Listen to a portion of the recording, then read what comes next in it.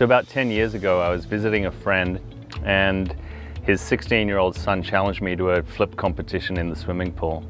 So I got up there, of course, I did a front flip off the diving board and I slammed my ear in at high speed into the surface of the water and blew out my eardrum. From that moment forward, I've lost about 70% hearing in my right ear.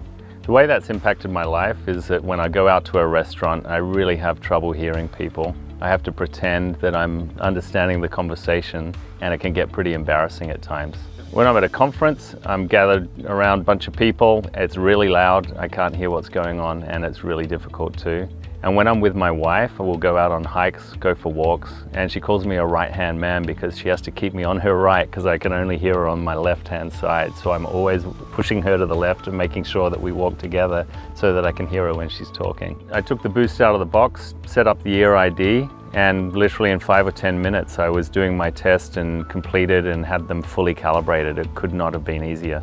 I'm super active and when I'm not working, I love to be playing around with the family or out on my bike, running, hiking, what have you. And what I really love is what I've never been able to do before, and that is put in the wireless earbuds and just go for a long bike ride. There's no cords in the way that are ripping them out of my ears. Um, it's just great sound, super high quality, just super fun and free. And what I love is I can hear what's going on around me while also listening to great music while I'm working out. You know, I don't need them all the time, but when I do need them, they're really convenient and it's really improved the quality of my life.